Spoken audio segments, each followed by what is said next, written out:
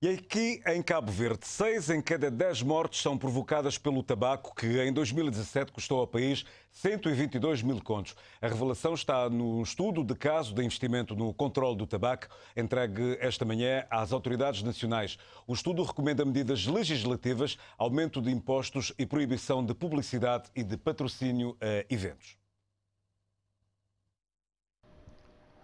Fumar pode matar e tem ainda um elevado custo econômico.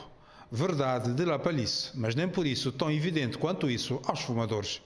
Em 2017, Cabo Verde gastou 122 mil contos devido ao tabagismo, que tem uma prevalência de cerca de 10% da população do nosso país.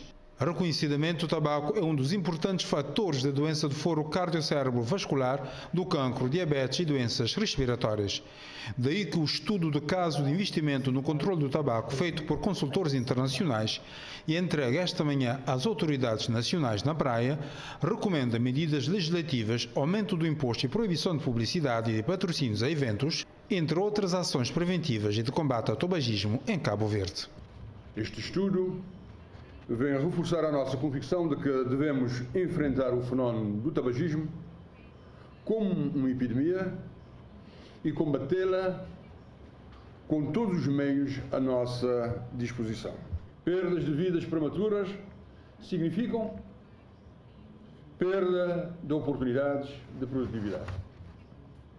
Embora os custos da mortalidade prematura sejam altos, as consequências do consumo do tabaco começam muito antes da morte. O tabaco é um alvo a derrotar pelos cavalianos. E seguramente será derrotado. Pois temos estratégias claras e uma vontade política renovada para esse controle. Medidas legislativas estão sendo trabalhadas para reforçar esse engajamento.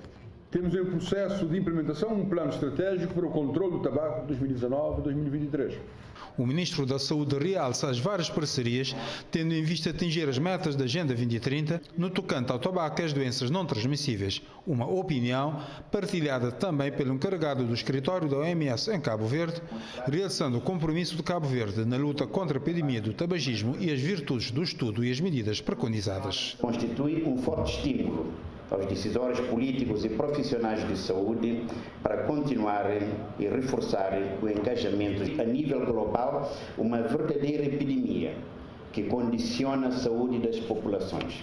Na manhã desta quarta-feira, a cidade da Praia acolheu o lançamento do estudo de caso de investimento no controle do tabaco em Cabo Verde.